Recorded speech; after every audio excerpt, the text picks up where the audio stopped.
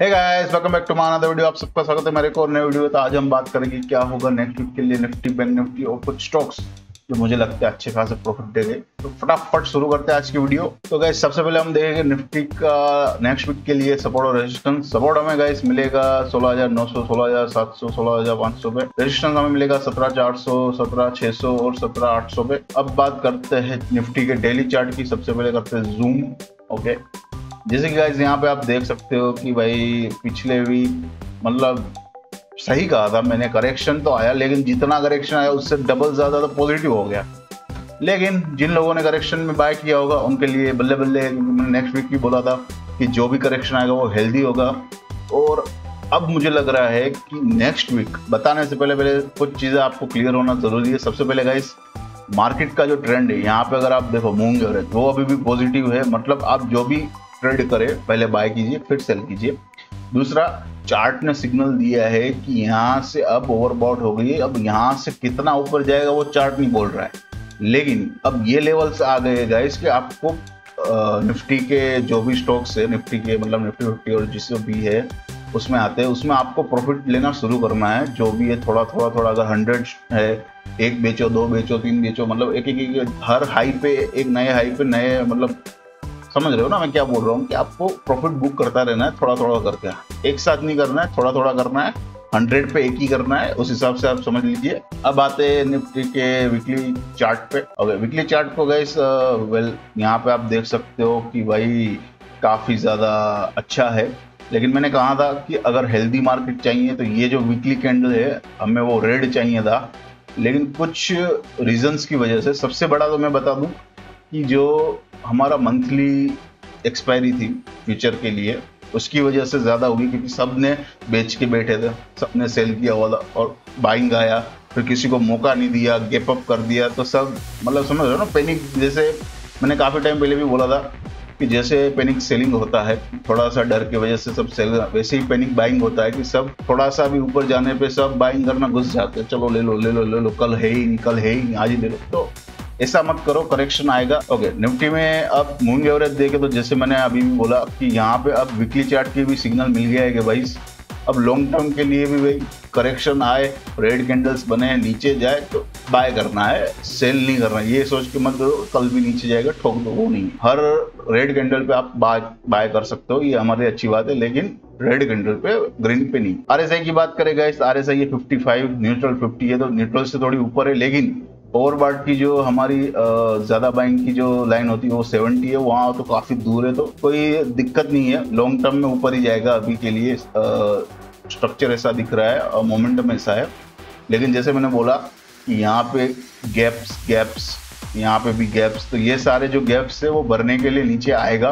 आगे बढ़ने से पहले गाइज़ आप सबसे एक रिक्वेस्ट है कि प्लीज़ चैनल को सब्सक्राइब कीजिए वीडियो पसंद है तो लाइक कीजिए, अपने दोस्तों को शेयर कीजिए बेल आइकन ज़रूर दबाइए। धन्यवाद। अब बात करते हैं बैंक निफ्टी की। बैंक निफ्टी में गए सबसे पहले हम देखेंगे उसका सपोर्ट और रेजिस्टेंस सपोर्ट हमें गैस मिलेगा सैंतीस हज़ार, छत्तीस हज़ार, पैंतीस हज़ार पे रेजिस्टेंस हमें मिलेगा अड़तीस हज़ार, उनचालीस हज़ार, चालीस हज़ार पे।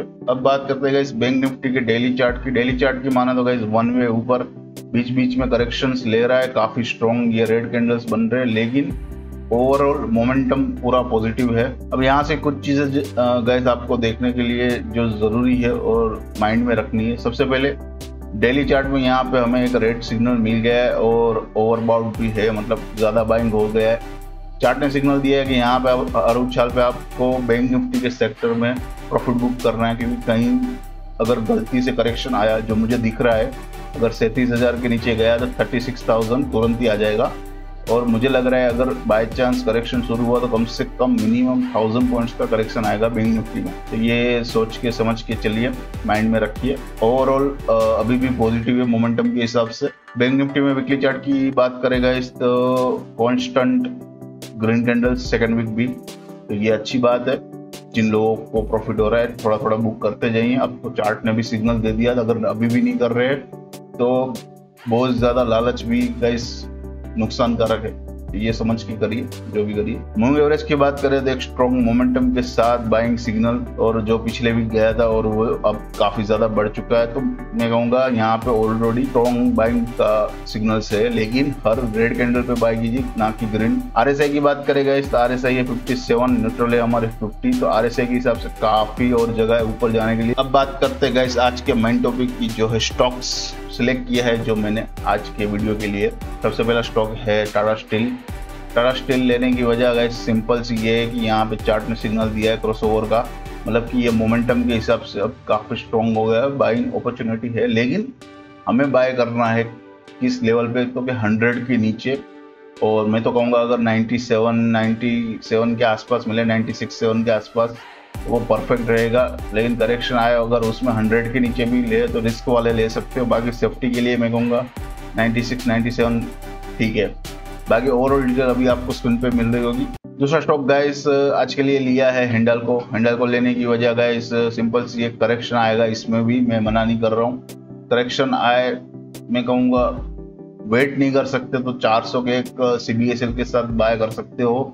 टारगेट्स और जो भी है आपको अभी डिटेल पे आ, सारी स्क्रीन पे मिलेगी। लेकिन करेक्शन आएगा और स्ट्रॉन्ग करेक्शन आएगा क्योंकि यहाँ पे अगर आर देखो तो ओवरबॉट में गई है। तो जो लोग रिस्क ले सकते हैं वही अभी इसमें ट्रेड करें हिंडल को मैं। बाकी जो रिस्क ले, लेना चाहते हैं उनके लिए मैं कहूँगा वेट एंड वॉच तो आज का तीसरा स्टॉक मैंने लिया है, वो है वेदांता वेंडर वेदांता लेने की वजह गाइस कुछ खास नहीं है, लेकिन सभी स्टॉक ने काफ़ी अच्छा मोमेंटम दिया है और लास्ट सेशन में वेदांता में भी काफ़ी ज़्यादा मोमेंट्स आई थी। मुझे लगता है ये एक अपॉर्चुनिटी है और जो इसका सिंपल सा लास्ट थ्री सेशन का एक रेसिस्टेंस सा बन रहा था, ढाई सौ का, उसके ऊपर आया तो मैं कहूँगा यहाँ पे एक रिस्क लेके ढाई सौ का एक strong C B S L के साथ आप यहाँ पे एक बाइंग ऑपरचुनिटी देख सकते हो और वहाँ से टारगेट और जो भी है, वो भी आपको स्क्रीन पे दिख रहे होंगे। तो गाइस आज के लिए इतना ही। फिर मिलेंगे नेक्स्ट वीडियो में। तब तक के लिए जुड़े रहिए और आप सबको एक हैप्पी अर्निंग गाइस